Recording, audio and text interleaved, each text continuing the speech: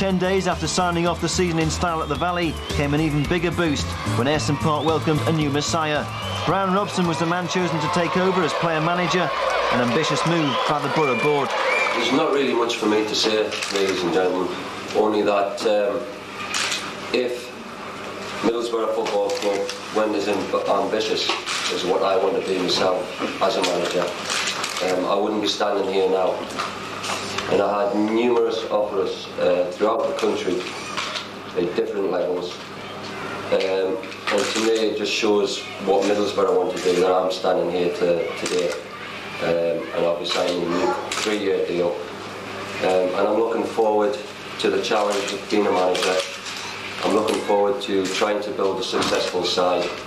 And July next year, we'll have a fabulous stadium to play in um, and the facilities are excellent, what is going to be brought into Middlesbrough Football Club.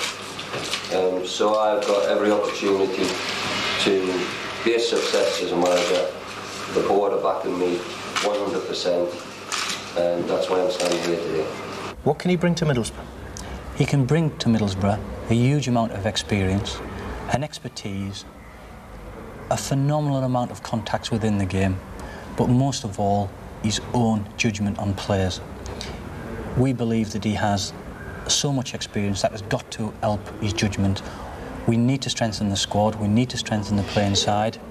Uh, our ambitions, we've had long discussions with Bryan, our ambitions are as one, and that is to make this club a major force at the very highest level of football as quickly as possible.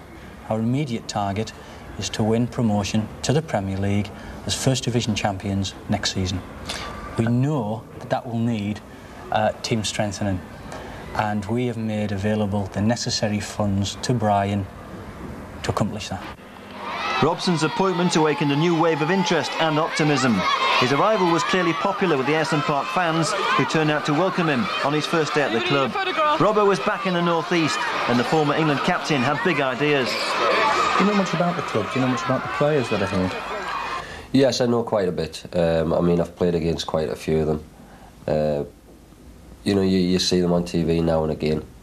Um, so yes, um, but the, the one thing about knowing the club and the history of the club and everything, I know one thing, that they're ambitious and that they've got a lovely stadium which is going to be finished next year.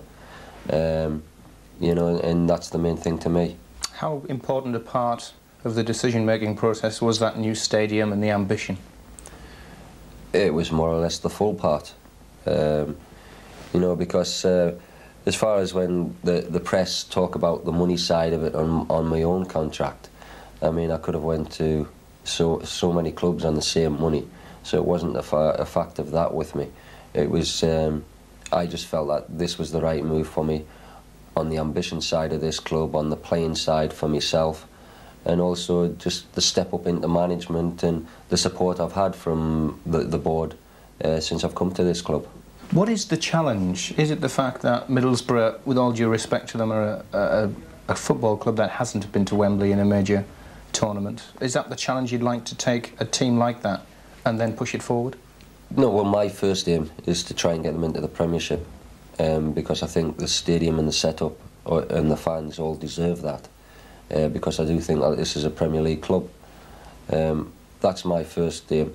If we were ever to get to a final, um, that would be icing on the cake. Um, but there's a long way to go before that.